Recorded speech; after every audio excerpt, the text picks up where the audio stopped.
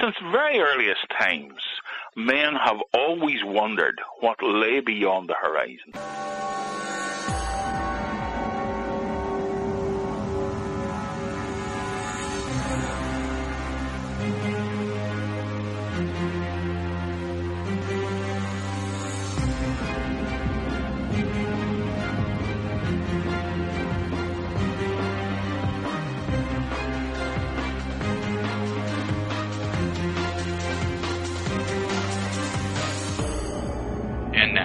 Ladies and gentlemen, Binnall of America Audio with your host, Tim Binnall. Hello out there, my friends. This is Tim Binnall of binnallofamerica.com with another edition of BOA Audio Season 3. It is March 9th, 2008, and this week we have an awesome episode on tap for you. We're going to be calling all the way to Northern Ireland to talk with Dr. Bob Curran, author of the amazing book Lost Lands, Forgotten Realms, Sunken Continents, Vanished Cities, and the Kingdoms that History Misplaced. And we're going to be talking about a ton of famous, infamous, and forgotten esoteric landmarks. Chances are you've heard of some of them, chances are you haven't heard of other ones. Maybe you only know a little bit about some of them. Let me run down the list of locations we're going to be talking about just to give you a little sampling of what you're going to hear tonight. The Otherworld, Green Island, Atlantis, Lemuria, Davy Jones' Locker, The Flying Dutchman, Shangri-La, Shambhala, the Kingdom of Prester John, El Dorado, the Kingdom of Prince Madoc, the Fountain of Youth, the Green Children, the Library of Alexandria, and, of course, tons and tons more.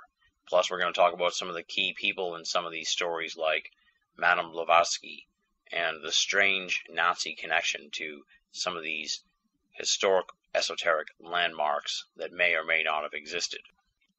I had the pleasure of already listening to the interview a couple days ago, and it is a captivating conversation. Dr. Bob Curran, I think you're going to really like his style and his delivery. He is a storyteller, my friends. So sit back, relax, put your feet up, and enjoy this interview because it's going to be a fun one to listen to, trust me. For those of you who are unfamiliar with Dr. Bob Curran, let me give you a little bit of background on him.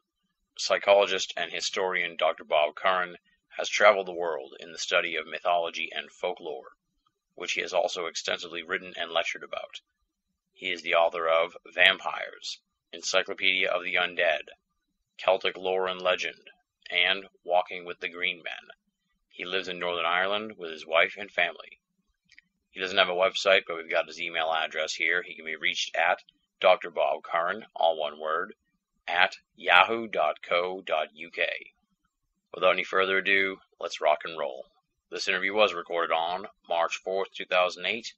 Dr. Bob Curran talking about Lost Lands, Forgotten Realms on BOA Audio Season 3. Ladies and gentlemen, welcome to a very special edition of Binnall of America Audio. Uh, I know I say that week in and week out, it seems, but this time I really mean it was an ultra special edition.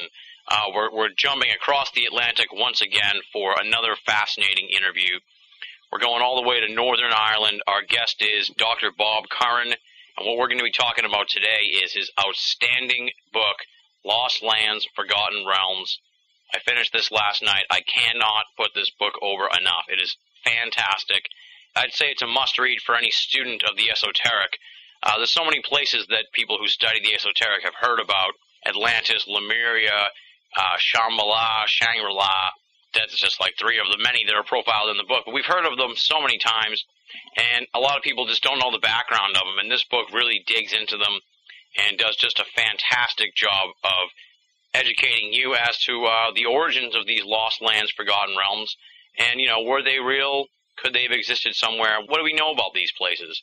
Dr. Bob Curran, as I said, has done an outstanding job looking into this mystery, into these series of mysteries, and he's here now on the program, direct from Northern Ireland, to discuss the book and to uh, have a little conversation with us. So, welcome to the show, Dr. Bob Curran. Hello, Tim, and how can I follow that build up? well, I'm telling you, Dr. Bob, uh, you know, I haven't raved about a book like this uh, in a few months now, but I really, really enjoyed it. Like I said, I can't put it over enough. It's fantastic, and I hope uh, people go out and check it out. Much. Before we dive into Lost Lands, Forgotten Realms, let's find out a little bit about you. Who is Dr. Bob Curran? You know, what's your bio, your background? How did you gravitate towards these mysteries that are the esoteric? Well, Tim, I grew up in a very remote area of Northern Ireland. And their storytelling was a great uh, pastime. Uh, if you could see me, Tim, you would know by the grey in my beard that I'm not a young, a spring chicken, if, if I can say that. Uh, and a lot of our amusement was listening to stories, and I got uh, involved in stories, particularly people who had been to other places. Uh, as I say, the area I grew up in was quite remote, and people who travel, let's say, to England or even America were considered to have traveled. So they came back and they told stories. And I suppose a lot of the stories stuck with me, and I wanted to know uh, about places that were far away and things that were happening and things that were mysterious and things uh, like that. So that was actually how I got into it. Uh, um, I became interested in history. I teach history and I teach a bit of uh, psychology. And so the two of them have come together, I think, in this book. So uh, maybe that's what makes it so interesting. There's lost lands in, in us all, whether they be out there or whether they be within us. Exactly. Yeah, you make that great point in the book. They may not be locations, but they they may say more about the sociology of people than actually absolutely what the locations are all about. Mm-hmm. I guess just talk about what Lost Lands, Forgotten Realms looks into. Like we've said, mythical places and that kind of thing. But but sort of give a thumbnail preview before we uh, jump into some of the specific locations. Okay, since uh, since very earliest times, men have always wondered what lay beyond the horizon. Now, people did travel along periods. And I said at the, at the start, people which I knew, uh, whom I knew, came back from various other parts of the world. And they began to talk about wonderful things. And gradually people began to look at um, what might be out there what sort of people uh, they might be, and what sort of marvels were there. Because some of the people who came back, Tim, uh, told them uh, about things which they had no concept of. Mm-hmm. Now, some of them may have been true, some of them may have been false. Um, there were stories, for instance, uh, old travelers' tales of people who slept on their ears. Uh, they, they lay down on one ear and put the other ear over uh, them like a blanket. there, there, there, were stories of, uh, and some of you, uh, uh, your listeners may know about this from Greek mythology. There were stories of great giants with one eye, and uh, there were things about um, men who were half man, half horse. So all these wonderful tales began to, and gradually began to coalesce into a series of, of stories about places which might or might not exist. Uh, some of them represented bits and pieces of uh, history. Some of them simply uh, were fragments of aspirations and longings and imaginings of the people. So the lost lands gradually filtered into the cultural pattern and cultural myth of uh, society and uh, has come down to us places like Atlantis, places like El Dorado, places like Shangri-La. And if you travel around here, Tim, you will see many houses with Shangri-La up on them. So it must have uh, slipped into the culture somehow. Yeah, I sort of cherry picked some of the areas here that are covered in the book and, and had some questions about them. Okay. And uh, instead, you know, like I said, we're we're going to scratch the surface here in this interview. There's tons. How many would you say actual areas are profiled in the book? Would Oh, I, I literally don't know, Tim. I just, kept, I just kept going, and uh, between you and me, Tim, I had to cut out a whole number of lands, so there might even be a second book. Oh wow, that would be awesome. Mm-hmm. And like you say in the book, uh, each you know each area that you discuss, each each lost land that you discuss, could be a book in and of itself. So like uh, like I said, we're just going to scratch Absolutely. the surface here. Yeah. Well, let's dive in on the other world. Which is one of the first places profiled in the book. Talk mm-hmm. a little bit about the other world. The other world, uh, from my own point of view, was a realm in Celtic mythology. When people died or when they disappeared, they may have went to the other world. Now, uh, I was telling you that I can um, go out and see. I'm not too far from the sea, so you can go out and you can look at the massive cloud formations uh, of a little place down the road called Portstewart, and the, the clouds gather together into shapes of mountains and uh, and things like that. Uh, and uh, I suppose for many people, uh, and maybe uh, in Massachusetts, you have uh, on a beautiful day looked up at the clouds, and you can see all sorts of shapes. You can see castles, you can see buildings, you can see things like that. And I suppose that, that conjured up to people something of a mysterious other world. Now, that uh, fed into their belief, and they believed that there was a, another land just beyond human comprehension, which was uh, which they could see, but which they couldn't touch except they were extra special. Now, it meant that perhaps poets or great men went to these other places. Mm-hmm. And uh, this was the world uh, uh, of the fairy. This was the world, perhaps, even of the dead. It was a paradisical land. It was beautiful in some respects. In other respects, people who went there did not age. So if you returned, as I think I mentioned, uh, Oisin did, uh, a hundred years have passed, even in a day. So everybody you know is dead, and um, the, the the world has changed. So the other world lay just beyond human comprehension. We could see it, perhaps on the clouds on the horizon or the clouds over the fields, but we could never get to it except we were somebody special. Maybe Barack Obama or Hillary Clinton will get there. on one of the uh, parts of the book that you talk about in the other world section is uh, that there were some weird stories from the 1800s uh, where people would see these cloud formations and really uh, it would create quite a frenzy in the town. They would believe that there was um, a town across there. Absolutely. I mentioned Port Stewart to you there, which is just about four or five miles down the road from where I'm talking to you. In the 1800s, um, there was actually a mirage which appeared. Now, a mirage is something which appears and is really not there, and travelers see them in the desert uh, and things created by various atmospheric conditions. But uh, some of it appeared on uh, even off the coast of Scotland, off the coast of Southern Ireland, and uh, men actually tried to row out to get them. They could see castles, they could see houses, they could actually see people walking on the roads. Now, perhaps that was a reflection of something somewhere else, but that be, uh, began to develop a sort of mystical quality. And whenever you rowed out to it, and it disappeared. Then it became even more mystical because you had actually seen it, but it wasn't there. So it could be something from another zone, another time, uh, and it may well have been from another place on, uh, on the earth. A point I wanted to make here uh, that that's in the book, uh, in the section here on Hy-Brasil, is that it appeared on a lot of maps that, that some of these places would be on maps and stuff like that during the time period. And uh, even though from what we can ascertain, they're they're not out there in the ocean or something like that. Absolutely. Um, remember that many of the cartographers, those people who made the maps, had never uh, traveled outside uh, the town in which they lived and relied on the stories of um, sailors coming back as to uh, their impression of what the world was like.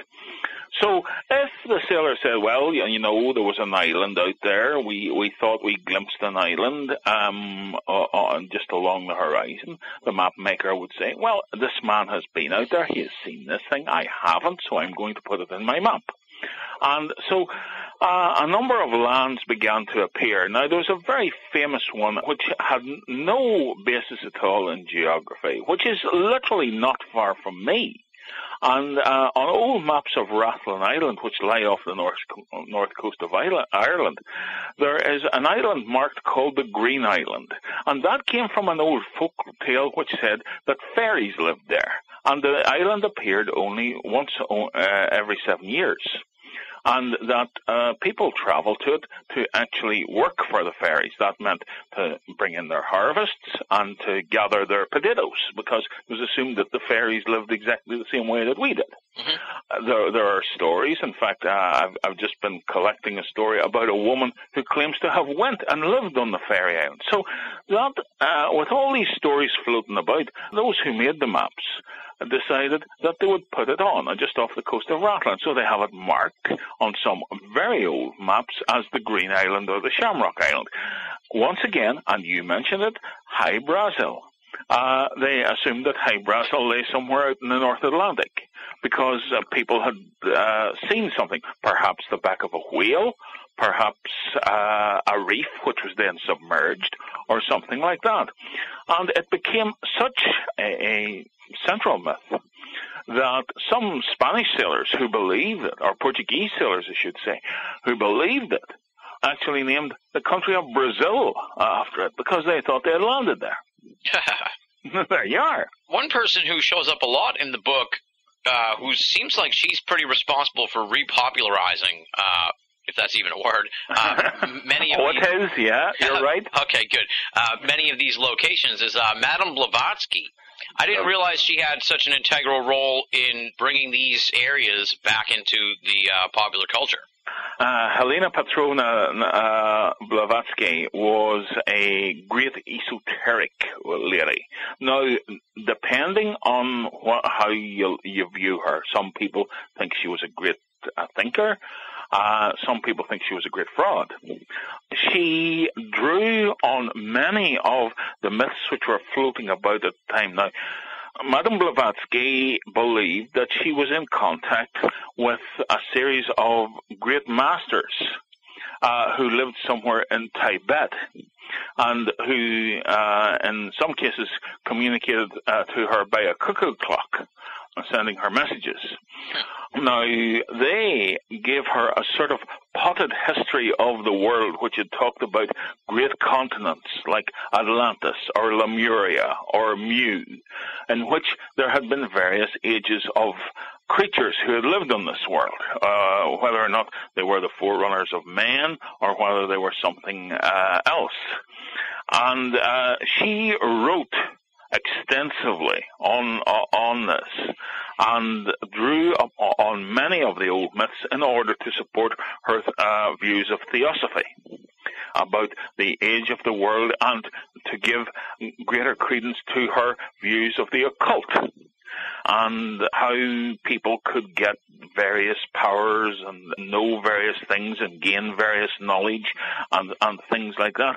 So uh, she wrote extensively, and she had a great influence because uh, she was writing at a time when the world was being explored and new things were being found out. She was writing at the beginning of the uh, of the end of the 1800s, beginning of the 1900s, and this was a period of, of expansion when people were beginning to expand into new areas of the world, and so she was part of that and had a tremendous influence on that uh, period of time, and has, uh, some of her writings has come, have come down to us. Talk a little bit about Atlantis, because that's sort of the big daddy of lost lands and forgotten realms. It seems to be the biggest, uh, the most popular, or the most famous uh, lost lost place as it is, and it's strange sort of history in the sense that we only the original source is just Plato and a, and you know passing sort of story right. they wrote, and uh, other than that, you know, we don't know too much about whether it was even in the history or not. So it's a, it's a fascinating uh, story. Well, Tim, that represents what I would term uh, the historical and the imaginary or the uh, hopes and, uh, and aspirations, the aspirational. Because Atlantis, uh, and I think this is why the myth or the story of Atlantis has endured for so long, because it represents, to some uh, extent, it represents our hopes and ideals. Whenever I was growing up, Atlantis was somewhere beneath the North Atlantic, so it was said, and it had once been a great civilization. Um, I, I remember reading old books which suggested that they had cars and they had aeroplanes and uh, and all sorts of things. That was a tremendous futuristic uh, civilization, and it was a benign civilization. Now, what uh, the early writers tell us about Atlantis was that it was nothing of the sort. It, it lay beyond the Pillars of Hercules, uh, according to uh, some people uh, some writers from the Mediterranean region, and that was actually outside their sphere of influence. So it was uh, practically in an, in an, unknown part of the uh, the earth, and it was very barbaric. It was a slave society. The people there were very militaristic and incredibly warlike, and they raided around the Mediterranean, and they were destroyed by a great cataclysm. Now, that may be part of an old folk memory, which comes from the Minoan civilization, which actually existed within the Mediterranean area. The only part of that civilization which remains, because the civilization was probably destroyed by a massive volcanic eruption, mm-hmm. the only part of, uh, of that civilization which remains is the island of Santorini in the Greek archipelago. And that is black and volcanic and is probably roughly, uh, if Atlantis did exist, where it uh, would have existed. Now, it was probably not called Atlantis. It was probably part of the Mino- uh, of a very early Minoan civilization, which we know existed because we have pots and shards from that, but that exploded a long, long time ago. Let's talk a little bit about the strange sort of evolution of the story of Lemuria, because I found it interesting that it sort of started out in a very uh, benign way, a theory of how the species of lemurs may have been dispersed, and then it turned into this fantastical tale of a lost civilization and everything else. That's a strange sort of evolution. Kind of tells you a lot about people in and of itself. Well, once again, that is a combination, I would argue, of what actually happened with, with the evolutionary and the spread, as you say, of the lemurs and land bridges. And it combines with part of the age old query about where people came from and where men and races and uh, creatures began to evolve or where did they actually come from. So you have a sort of geological thing mixing with people beginning to speculate on how men were dispersed or creatures were dispersed over the earth. So you have the geological, because the Earth looked very different back in various periods of time than it does now, and um, possibly uh, creatures moved from one part to the other. And you have then the imagination, you have the explanation. People say, well, how did this race get from A to B? Were they a seafaring people? No, they weren't. So there must have been some sort of great continent there. And uh, that begins to uh, give us an explanation which we can deal with then bits and pieces of the imagination is added to it. For instance, there must be have been at one stage a great civilization. Uh, the people came, let's say, to America. The people live under Mount Shasta, and they are benign and wonderful beings because they could travel about all over the place. So you're getting human imagination seeking to explain how geology and geography works and adding bits and pieces to it. So suddenly great continents begin to emerge, which have now sank beneath the sea. And quite possibly there were continents, but they may not have been as we imagine them. Yeah, it's really fascinating to think about the way people are and stuff like that and the way Absolutely. society is. Absolutely. And I was talking to a gentleman not so long ago and we were talking about the Red Indians and he says, well, he says, you know, he says the Red Indians are possibly descendants of the Chinese. And so, uh, once again, uh, he was talking about a myth of a continent somewhere which had given both the Chinese and the Red Indians to the world. there you are. Yeah. You, t- you pays your money, you take your choice. there you go. Speaking of sinking beneath the sea, let's talk about a popular uh, location here, the Oh, popular yeah. Lost Land Forgotten Realm uh, that's been really popular in the last few years, and that's the Davy Jones locker story and how that ties into the Flying Dutchman. You know, if someone's seen Pirates of the Caribbean, it's, it's not like that at all. it, it isn't because Davy Jones sort of emerges as this sort of tentacled H.P. Lovecraft sort of figure. No, uh, actually, there, uh, we believe that there was a, uh, a gentleman called David Jones, but he was not the Davy Jones of the Locker. David Jones, as far as I can, uh, was um, a pirate, possibly of Welsh origin, who operated out of Port Royal, Jamaica, uh, before it was destroyed by an earthquake. And he operated there in about 1630, 1631. But he was of literally no consequence uh, in piratical terms. Uh, the uh, notion of Davy Jones' locker, which they say may uh, have come from a variety of sources. Firstly, the name Jones. I know the name Jones is Welsh, but some have argued that it was a derivation of Jonah. Jonah, as you may remember, was uh, the prophet wh- whom God sent to Nineveh uh, to tell them to behave themselves and mend their ways. And Jonah refused to go and set out on a ship for another port and was swallowed by the great whale and vomited up on the beach. So Jonah became a, a figure that was bad luck on boats. Now, the Davy, they argue, may be a word for the devil, or it may come from the West Indian duppy, which is a ghost or a specter uh, in Caribbean and Creole mythology. So it might uh, that uh, how how the name has come about. There may also have been a connection to uh, a gentleman who actually did keep a locker. Now. Uh, here, as I'm sure there was in the, the United States, there was a series in various ships of impressment. Now, this meant that captains of ships who pulled into ports and found their crews, uh, they didn't have enough crew to continue with their voyage, particularly naval ships, were allowed to impress men from the local area to serve on the ship wherever it was going. And now, um, many young men didn't want to go and, and leave their homes and their wives and whatever.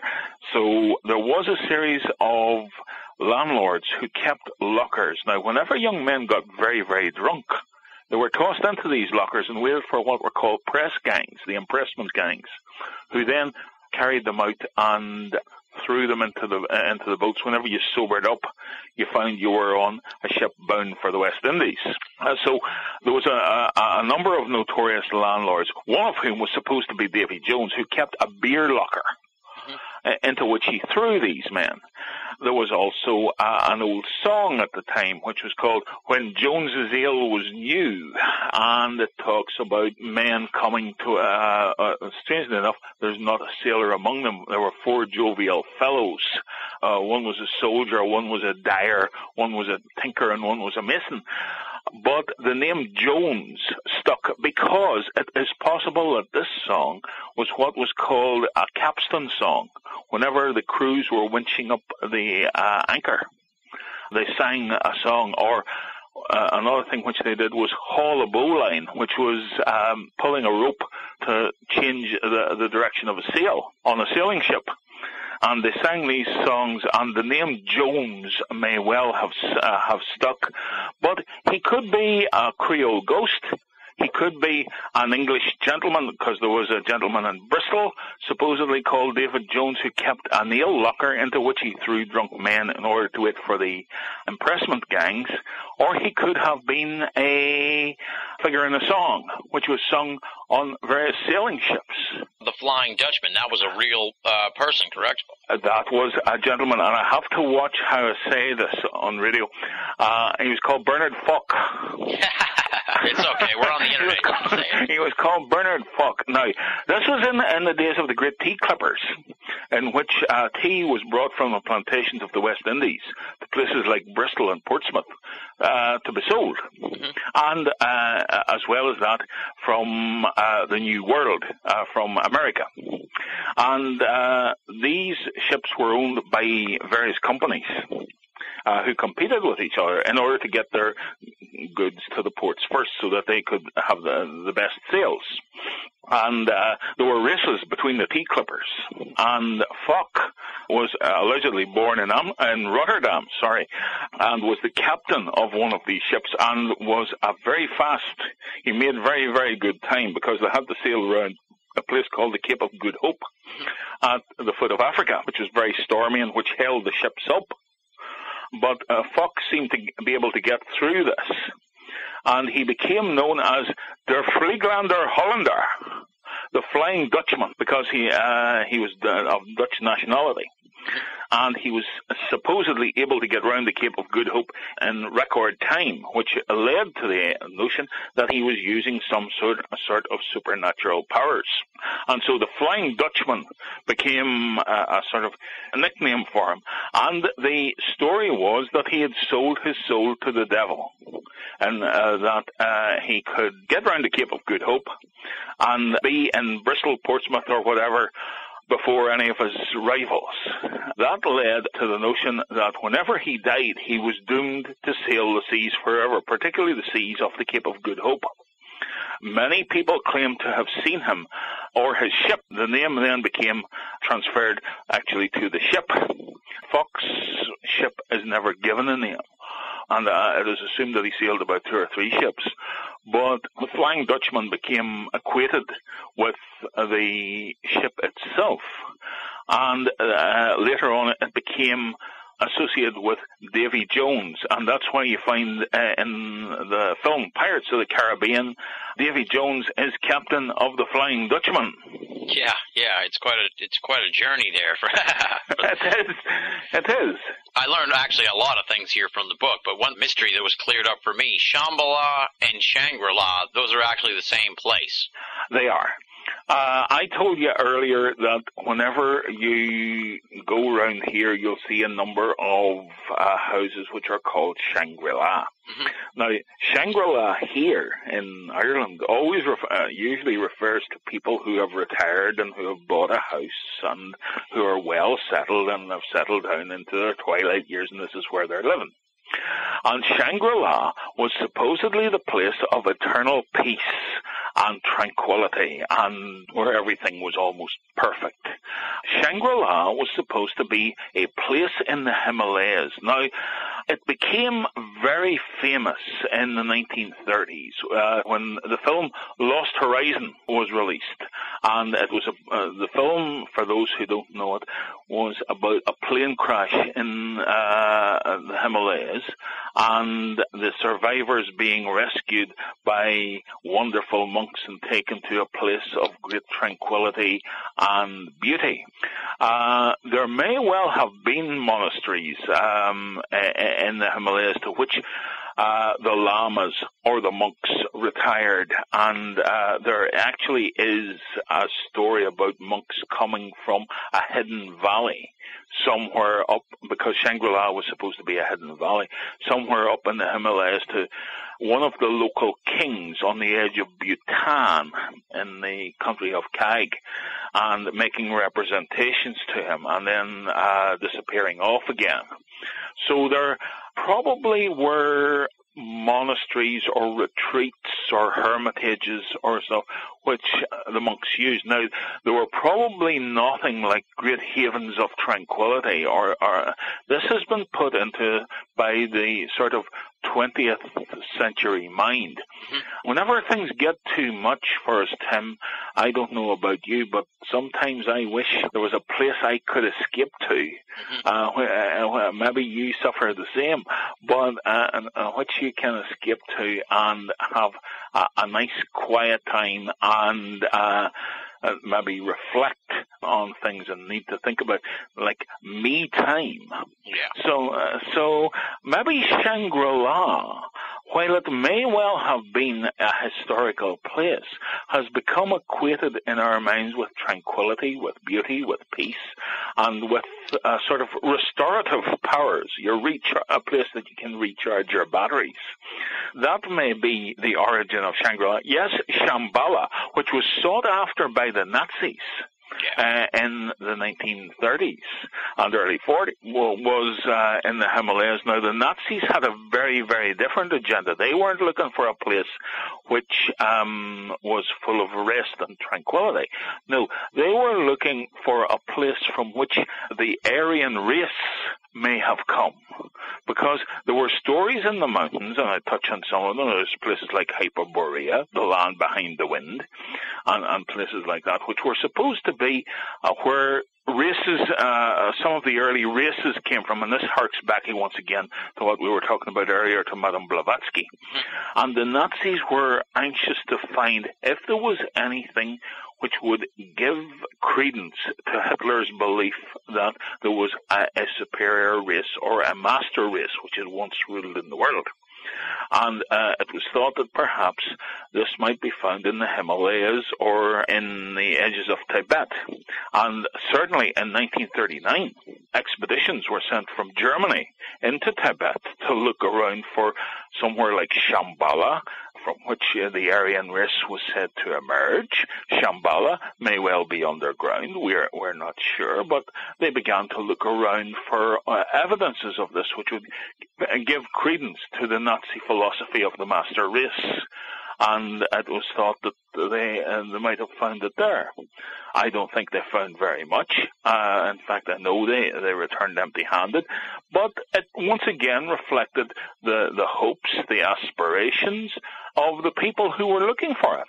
And it's just fascinating to think within the last hundred years or so that people were still, you know, mounting these serious expeditions to find these places. It's not absolutely. Just, yeah. Well, let's talk about uh, another area of significance, really in a historical way, in a political sort of way, and that's the kingdom of Prester John. I had never heard of this story. Uh, the whole aspect of the letter being sent was fascinating, and then how Christian powers that be tried to assign the kingdom of Prester John to various people in a way to uh, sort of bolster their standing in the world. Uh, let's talk about the kingdom of Prester John. The kingdom of Prester John was a medieval uh, story. It is said that the Byzantine uh, Emperor Manuel uh, First received uh, somewhere around uh, the 1140s received a letter from an East European king, an East European Christian king named Prester John, and uh, it was a letter asking for help. Prester John ruled a Christian country somewhere in the Far East. And uh, that country was under threat by barbarians, possibly Tartars or possibly Mongols. And he wrote to the Byzantine emperor for help and support. Now, the Byzantine emperor simply put um, the letter away and did absolutely nothing about it. And it is, was thought that the kingdom of Prester John was overwhelmed. It became a fascinating story all sorts of things were ascribed to it. They uh, ascribed uh, the fact that Prester John was in fact descended from one of the three magi, uh, the wise man who had attended at Jesus' crib mm-hmm. uh, in the biblical story. Yeah. Some people said that it was a wonderful land full of gold and silver and um, wonderful fountains and miraculous creatures. Now, whether or not Prester John existed, he became a sort of focus for the Christians of the uh, for Christianity in the East, and as you quite rightly say, some people used it to raise their own standing and say, here uh, there are kings of the East and we should have helped them when when we got the chance. They're now overwhelmed. Some of them were supposedly Mongol. Uh, the descendants of Prester John were supposedly Mongol princes. For instance, it was thought that when he was called King David of India, he was actually Temujin, who became Genghis Khan and welded the um, eastern steppes together. Others said, of course, that uh, uh, Prester John may have um, ruled over a slightly different type of Christianity, a Christianity which was nearer Buddhism. And this is why the emperor um, did not uh, help them because he knew they were Nestorian uh, Christians, which is to say was slightly closer to Buddhism mm-hmm. than it was to the Christianity of the West. and there were Christians living there. Other people said that Prester John um, lived in Ethiopia, and this moved the, the notion of Prester John's kingdom from the east to North Africa. And it, it was thought that Haile Selassie was a descendant of Prester John, and um, depending on whom you speak to, some of the Rastafarians still believe that. So uh, there's all sorts of uh, it's mixed with uh, Christianity, it's mixed with the Mongol Empire, and it's uh, mixed with um, Rastafarianism. Yeah, it's strange to see the permutations that Prester John takes on over the years as they That's try, right. to, try to use that, that story. I have a feeling we're not in Kansas anymore. You're listening to Binnall of America Audio. I was sailing for two and a half weeks there in due west and making nine knots. I should have been in Fiji in less than a week. Well, the first piece of land I saw wasn't Fiji, was it? No. No, it was here, this, this island. And you know why? Because this is it. Eh? This is all there is left. This ocean and this place here. We're stuck in a bloody snow globe. I was really surprised in the book that there are a lot of these lost lands, forgotten realms here in the United States. And the one I first wanted to ask you about was this uh, Kingdom of Prince Madoc in Alabama, because you say of all the places in the book, that one seems to be the most possible to be real. I hope I got that right. You have indeed, and uh, to be perfectly honest, Tim, that's one of my favourites because we're talking about a medieval Welsh kingdom from uh, from about the 12th century, which existed in southern Alabama, and we do know that uh, uh, uh, during uh, the middle of the 12th century, Wales uh, was in great turmoil. There was a kingdom which was known as Gwynedd, which is in South Wales, which was uh, incredibly uh, in upheaval uh, around uh, about 1137. That was because Owen Gwynedd, who was the king there, had so many sons. Um, the old Celtic chieftains had a considerable number of sons, and it was great to have so many sons. But whenever you died, it created all sorts of problems because the sons claimed your uh, your kingship. Um, and there, we do know that one of the sons of Owen Gwynedd fled into the west to avoid the wars which were going on in his kingdom and he was Prince Madoc. And it is thought that he sailed westwards and dropped anchor in Mobile Bay in southern Alabama. And that he uh, founded a kingdom there. He returned to Wales, it is said, uh, very briefly. Uh, we don't know whether he actually did return or not. And then took more people back with him and uh, settled. Now, the story which I like is that um, Around about 1660, a Welsh missionary was captured by a branch of the Tuscarora Indians and was uh, about to be killed. He began to pray in Welsh and was answered in Welsh by one of the tribal elders who said that it was their sacred language and was uh, the language of Madog, who was a king among the ancient Indians.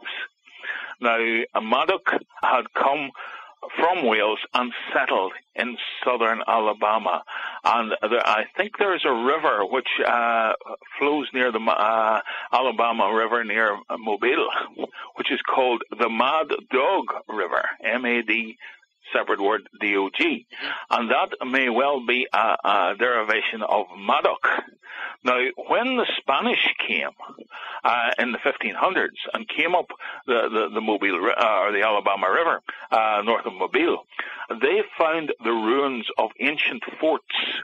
Now, one of the forts uh, which they found actually matches, at, uh, to some extent, to a great extent, I should say, the layout of Carnarvon Castle in Wales and it is possible that it was well, uh, built by Welsh stonemasons. So there may well have been a um, Welsh living in America long before Columbus, 300 years before Columbus arrived. Yeah, yeah. it's definitely one of the coolest ones in the book, and I like it. It really makes you think about Yeah. some of these. Talk a little bit about the the search for El Dorado that that really uh, ruined the life of Coronado. I think I forget his name. Uh, the, the, the great Coronado, uh, governor of New Galicia. Coronado set out to find a great city. Now, I don't know if you have seen uh, a film uh, which um, is doing the rounds over here called National Treasure, starring Nicolas Cage, Mhm, Yeah. and in which they go in search of uh, El Dorado, which is somewhere beneath Mount Rushmore. Uh, I can tell you that El, uh, uh, El Dorado doesn't exist beneath Mount Rushmore.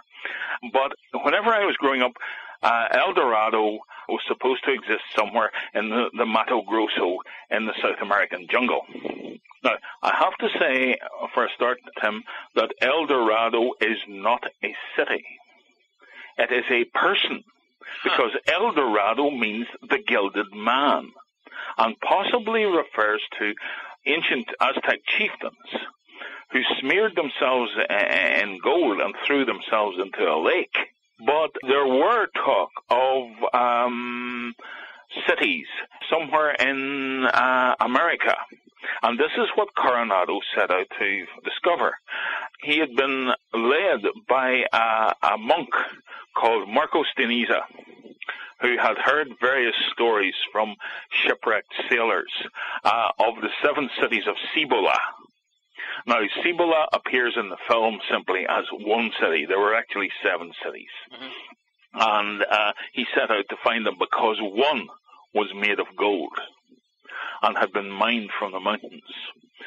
So he marched across from New Galicia, which is in northern Mexico, and he marched across the southern, southwestern United States, and he found nothing. His men were uh, devastated by disease and by desertions and by hunger and thirst. So whenever he crossed the Wichita River, he had been told that the cities actually existed on the other side of the Wichita River, and uh, he found nothing but a number of mud villages, and he turned back.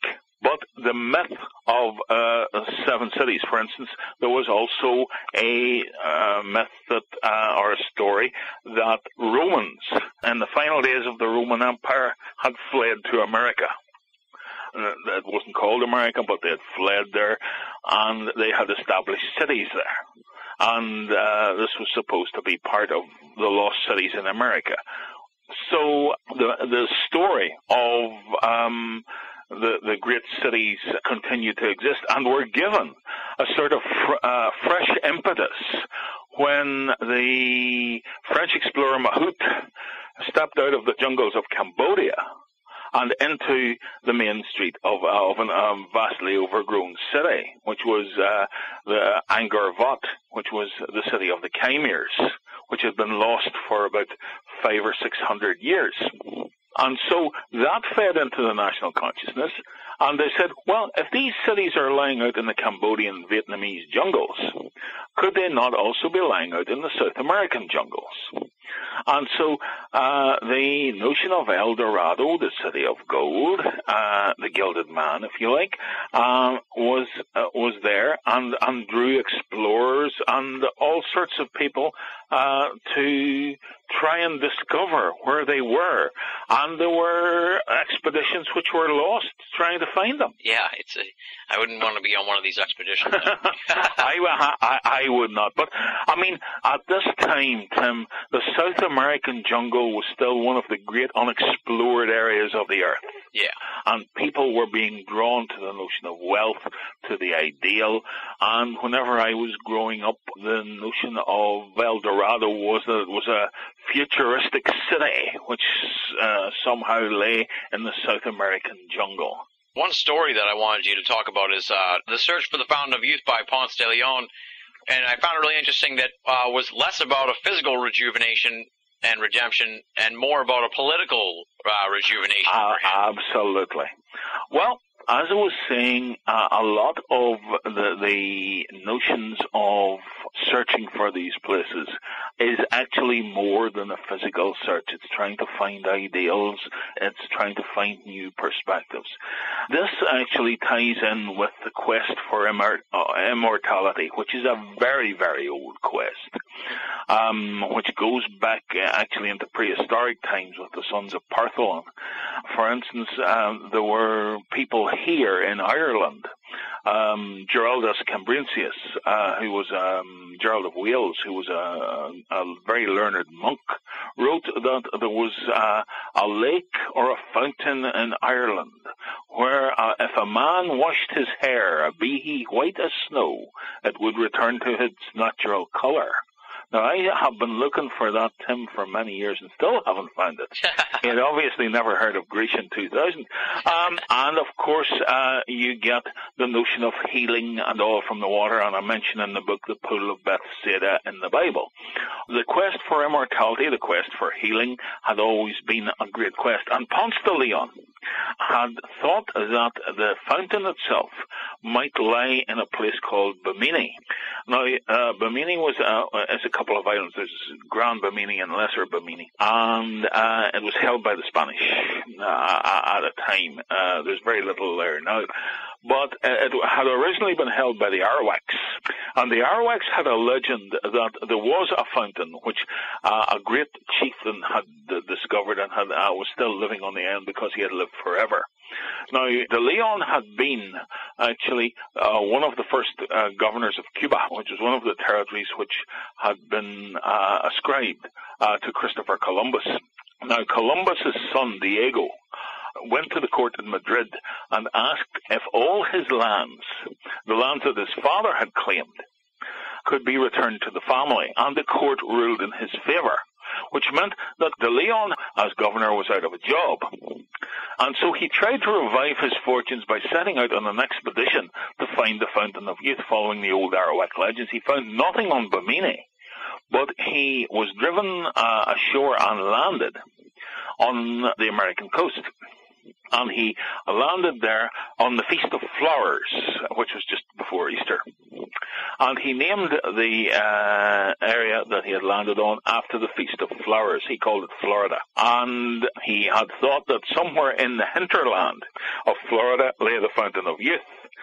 He didn't know about Disney World, but he set out to find uh, uh, the fountain, but he didn't find it. If he had found the Fountain of Youth, he, he claimed, uh, or he imagined, that his political fortunes would be restored. He had once been a very influential figure in the Caribbean, but now with uh, the, the, rise of the Columbuses, uh, he found himself out of favor. So this was actually an attempt to restore his uh, own political fortunes by basing it around a legend. Yeah. Now, there was rumors that Bimini, itself had been the site of a great civilization. And uh, that may be the case because divers have found the remnants of a great causeway, which made uh, the great writer Edgar Cayce write that Bimini was uh, the center of this civilization and drew attention to the Bimini Road uh, which the divers had discovered. So we don't know. There may have been something there. There may not have been something there. But De Leon uh, tried to use the Fountain of Youth to regain his political fortune. However, he failed and died more or less in poverty. Yeah, it's a strange story, and one you don't really hear about in the history books here in America. Well, you just hear that he was there. You are. Yeah. Uh, uh, he he gave you Florida. I'm not sure if I should thank him. anything in the book here uh, about the Grand Canyon uh, as far as the lost city in there, and I thought I'd heard something about that. I was going to ask you if you had. Well, now this follows a whole number of old legends. Now there, there's supposed to be lost cities. All, uh, if you travel about the American Southwest, almost up into the mid area, you will find stories of lost cities. Most of these come from uh, Spanish incursions, uh, and it was what we were talking about earlier with the legend of El Dorado, because they were supposed to be the cities of the seven patriarchs, which were, as I said, about um, people. Um, some of them said they were Christians who fled from Rome to avoid persecutions, or emperors who are people connected to the, the Caesars who fled from Rome whenever the, the Ostrogoths and the Goths uh, sacked Rome in uh, the the 500s and fled to America and set up cities. Uh, the the Spaniards, of course, when they they travelled, they saw great rock formations. It comes back to once again what we were talking about much earlier.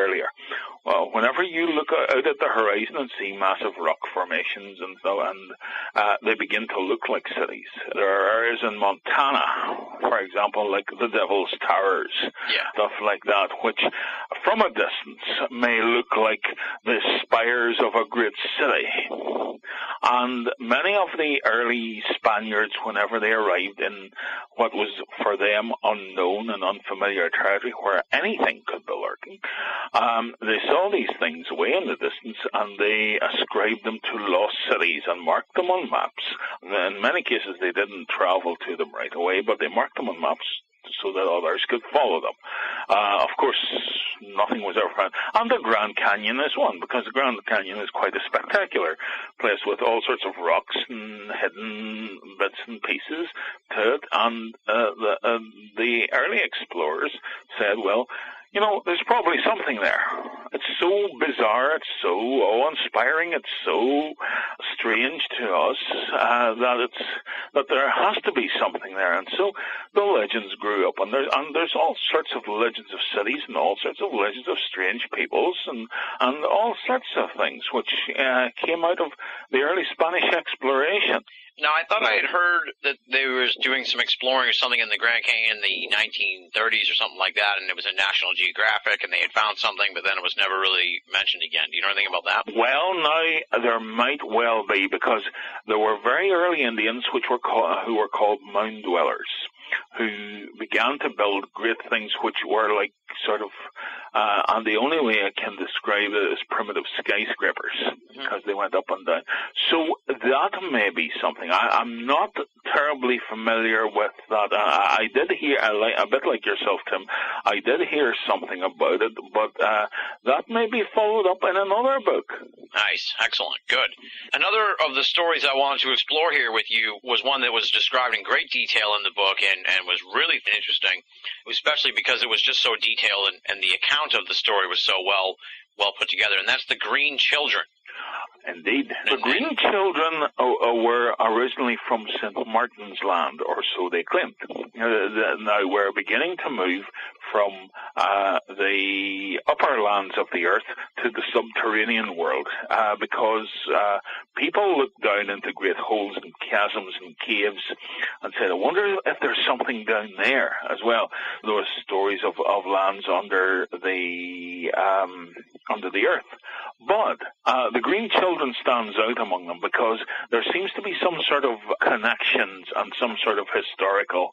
Uh, they appeared in England in the 11th century at a time when England was in the throes of civil war between King Stephen and uh, the Empress Matilda and they turned up at the, the castle of a local knight. There was a boy and a girl, and they claimed to have come from a land called St. Martin's Land, uh, which lay under uh, people's feet. The land of St. Martin's Land was not all that different from the land uh, which they found themselves in, except that the people had green skin. I mean, the people farmed, the people uh, lived in houses, they had cattle and pigs. But the boy and the girl were tending their father's sheep, and uh, they had heard the sound of a bell, and they had followed it, and they had climbed a way up uh, higher and higher, and they had come up through a hole. Uh, which had been, uh, I think, created by a storm where a tree had been uh, uprooted. And they had come out and they had been captured by uh, uh, by some people on the surface and taken to the castle of a local knight called Sir Richard de Colne. They spoke, it is said, in a high fluting language which was very unlike guttural uh, Middle English. They refused to eat any meat which was set before them because the people of St. Martin's Land were believed to be vegetarians. But they did get stuck into uh, a massive basket of green beans. Now, the knight, Sir Richard, adopted them as his own and kept them in the castle. Uh, and uh, the girl thrived.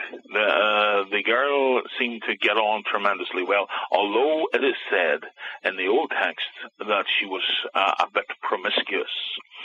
uh, the the boy didn't. The boy became very moody and and moped about. After a while, he died. He didn't like the upper.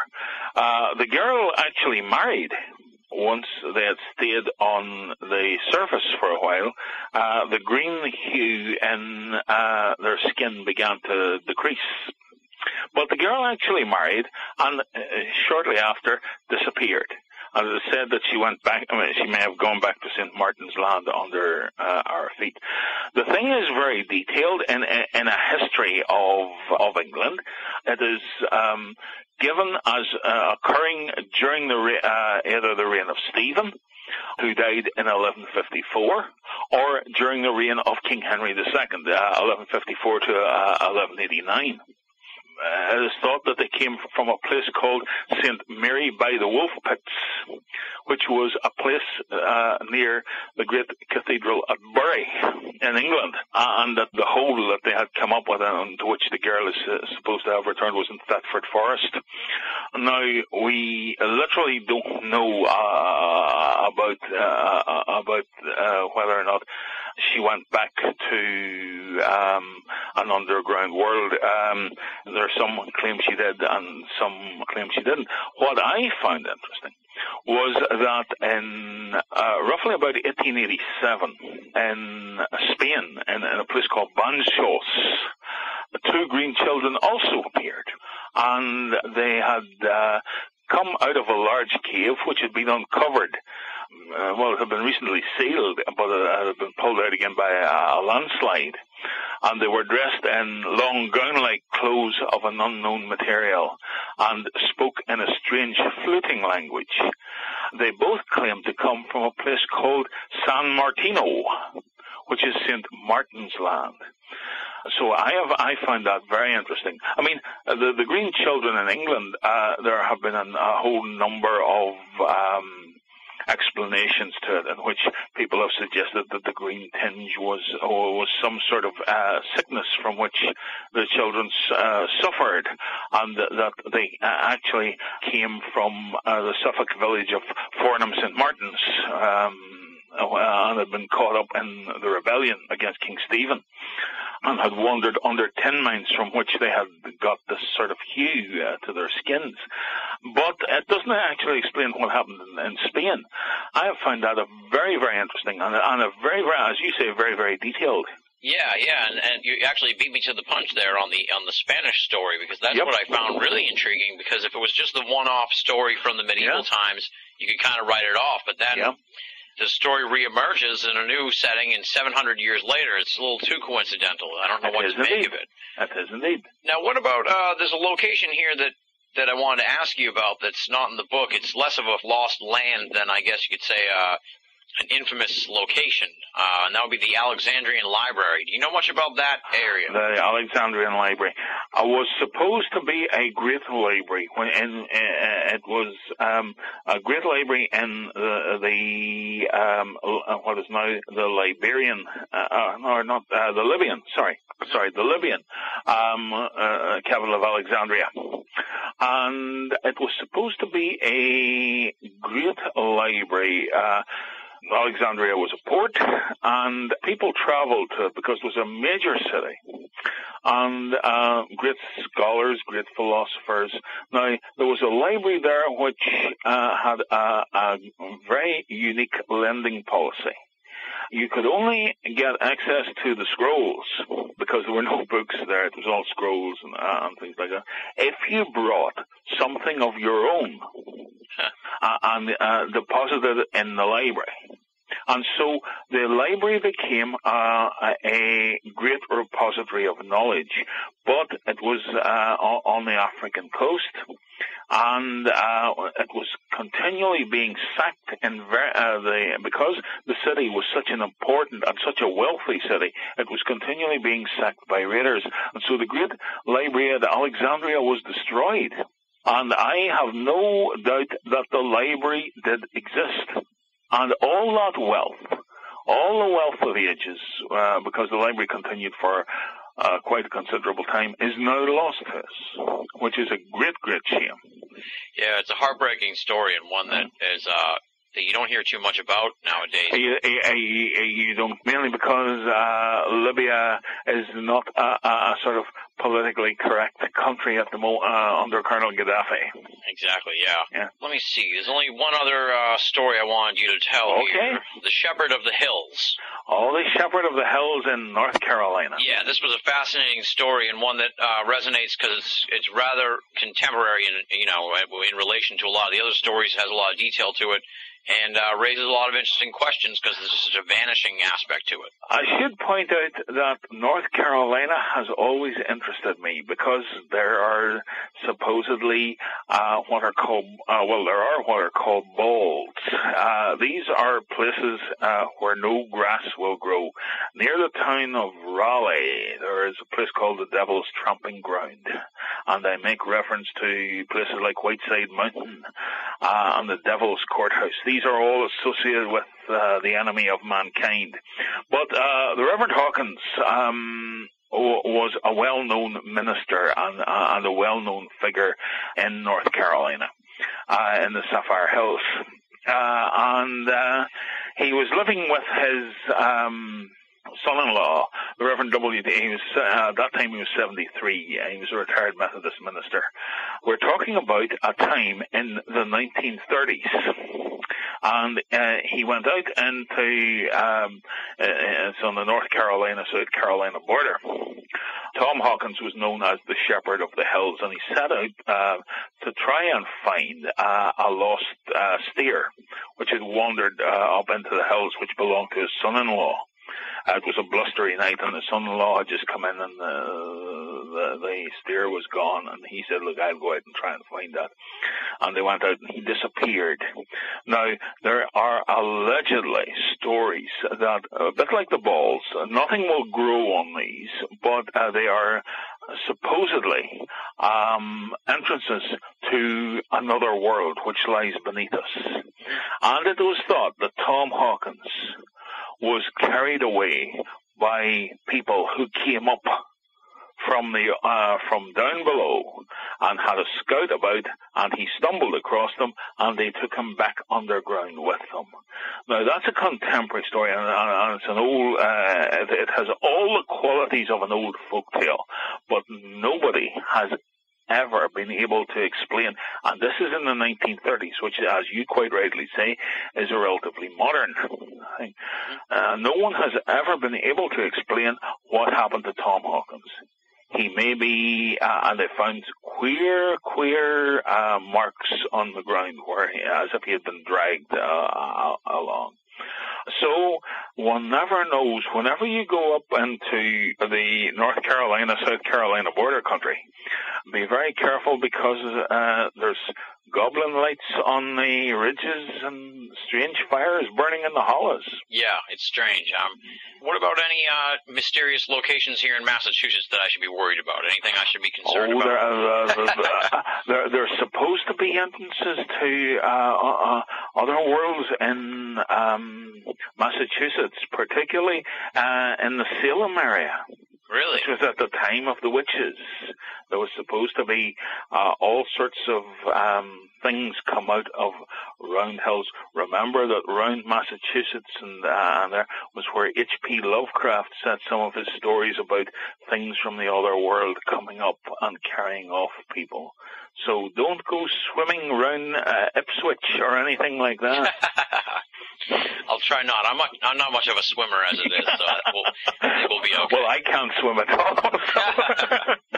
well, talk a little bit about these illustrations in the book uh, that, that, are done by Ian Daniels. They're all, they're amazing too. They're they're fantastic drawings and really captivating stuff. The idea for the book came to me, Tim, and I have to be quite honest, standing at my sink because because uh, in my kitchen because uh, where I stand uh, in my kitchen, I am looking over the River Bann into the oldest continuously inhabited place in Ireland.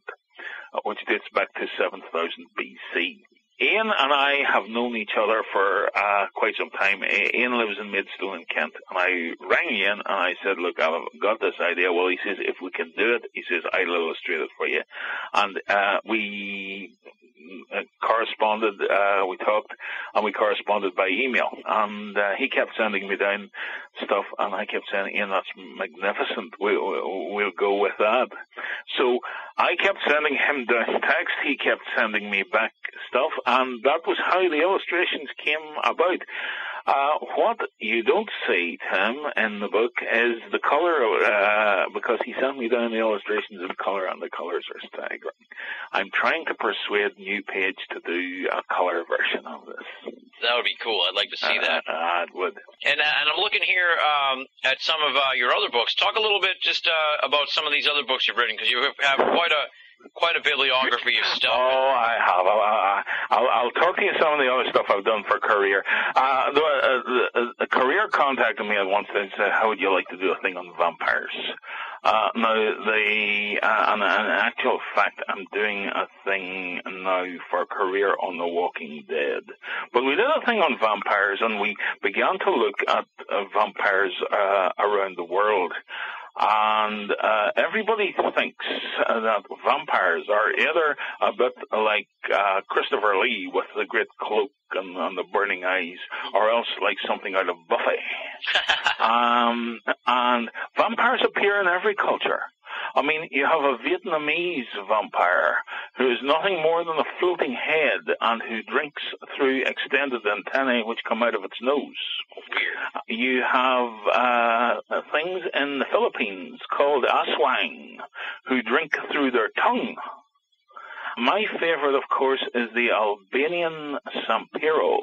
Albanian Sampiro is uh, actually a, a dead a person of Turkish descent because the Turks and the Albanians don't get on tremendously well, uh, and, uh, and there's a lot of xenophobia and and, and stuff like that. Uh, but uh, this walks about wrapped in a shroud on high heels uh, with large eyes making kissing noises. I think I may have seen one of those down the town not so long ago. Uh, you wouldn't get them in Massachusetts. Oh well, I'm, I'm afraid they're they're probably everywhere. there are. The other thing which I've done is the Encyclopedia of the Undead, which looks at uh, a number of things like werewolves and uh, and zombies. I mean, I'm I'm actually writing on voodoo at the minute, so I'll maybe come back at some stage and talk to you about voodoo and about the undead and about vampires and about everything. Absolutely, I would love that. I would love no problem, that. Tim.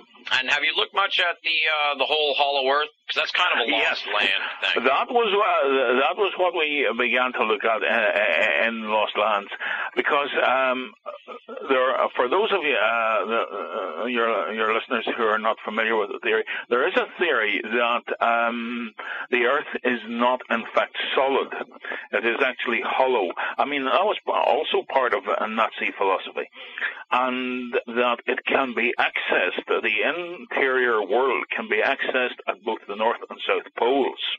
There were also expeditions uh, by the Nazis to find uh, some sort of polar route because it was also said that what uh, in the 1950s and, and 60s that some of what we call today flying saucers do not uh, originate from other planets but from a civilization within the Hollow Earth, and there's a lot of stories about interior lands down in the center of the world. As I was saying earlier, probably men looked into the deep dark holes and chasms and whatever of the world and said, I wonder what's down there and you get stories uh, in the 1960s. The, the big uh, the big films were things like Doug McClure. You wouldn't would be far too young to remember Doug McClure. Um, and Jules Verne's Journey to the Center of the Earth, where he had a big boring machine and went down and discovered descendants of uh, of ancient civilizations uh, living under the earth. Uh, and I suppose there is still a fear that perhaps down in the dark beneath us, there's something lurking that's coming up that might come up and savage us. So whenever you go around uh, Massachusetts and all, be very careful. Well, I try to. I try to stay out of trouble, but trouble finds Good me. man. Just a just a side note. Have you ever seen the program Lost? It's sort of uh, kind of right in this wheelhouse of Lost Lands, Forgotten Realms. It, uh, it is, but uh, it's a program. I've written about vampires, but I have actually, Tim, never watched Buffy the Vampire Slayer. Uh, I tell a lie. I watched one and turned it off halfway through. I haven't. I haven't watched Lost. Uh, I did try to get into it at one stage, but I found it so complex uh, because you needed to know what was going on, and there was so many surreal turns and stuff. There were uh, that uh, I didn't know. But uh, I'll give it another go on your recommendation, Tim. Oh, totally, definitely. And uh, it's well, it's, it was amusing because when I was reading the book, uh, so many of these locations have been offered by viewers of the show and trying to figure it out. You know, they think it's Lemuria or they think it's Atlantis, and it's like it's pretty cool that uh, well, there you the are. connection. There you are. Maybe they'll hire me as a script writer. I hope so. Yeah. That would be great. So now you kind of tease you're doing uh you're doing a I think you said an undead book coming out. Oh Uh, yes, what's, we uh, we have. No, this is for Career Press. Uh, once again, on, on New Page, who are the publishers of Lost Lands, Forgotten Realms. So I'd better give them a plug. We're doing Walking with the Walking Dead, and we're beginning to look at uh, notions of resurrection, uh, notions of people coming back from the grave, and uh, and how that has come into our culture. Uh, we're looking at uh, things like zombies. We're looking at mummies. We're looking at the Gothic heritage and stuff like, and the Muravyo, which is the Celtic Walking Dead, uh, and the living mummies of Japan. So we're looking at all that, and uh, that book should be out in the fall, I think. Um, I'm I'm doing a whole series of things. Uh, uh, maybe I shouldn't be talking about it. I'm, uh, I, I have a new book of folk tales coming out, I've, uh, and I have a new book about Ireland, about witches and ghosts in Ireland, which is uh, I've just got the stuff this morning, and uh, it's uh, being brought out by Barnes and Noble. So we're we're working at all sorts of things, Tim. Awesome. Sounds good. Well, now that I've read this first book here, uh, my first book from you that I've read, Lost Lands, Forgotten Realms, I'm going to be uh, looking into your catalog and digging into your bibliography because I'm I was so impressed with this book. I can't wait to see what what else you Well, have a look. Uh, you can find a lot of the stuff I do on Amazon. And you don't have a website or anything. I I am talking about putting up a website. At the minute, Tim, I'm I'm writing, I'm teaching, I'm setting up community um, uh, development here and in Japan and places like that. And I'm trying to get around to developing a website because it's the way we do business nowadays and uh, possibly by the end of the year. I hope so. Yeah, that would be great. Is there a way for people to get in touch with you? Yep. You you want that sort of thing? Well, look, uh, I, I, I'd give them an email address because that's always the best way to get in contact with me. I'm here, there, and everywhere. The uh, email is, uh, and this is all one word, and it's all lowercase. And uh, if they don't get it, uh, I mean, they, you have it as well. Yeah. It's D R B O B C U R R A N at yahoo.co.uk.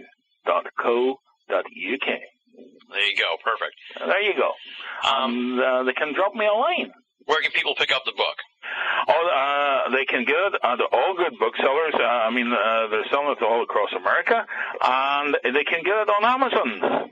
Excellent. Yes, definitely. If they don't have it at the bookstore, request it or go home and get on the computer and order it from Amazon. This is a must-read book. I'm telling you, folks, you got to pick it up. Lost Lands, Forgotten Realms. It's outstanding. I can't put it over enough. I enjoyed it so much. As soon as I started reading it, it was just like you, you can't put it down.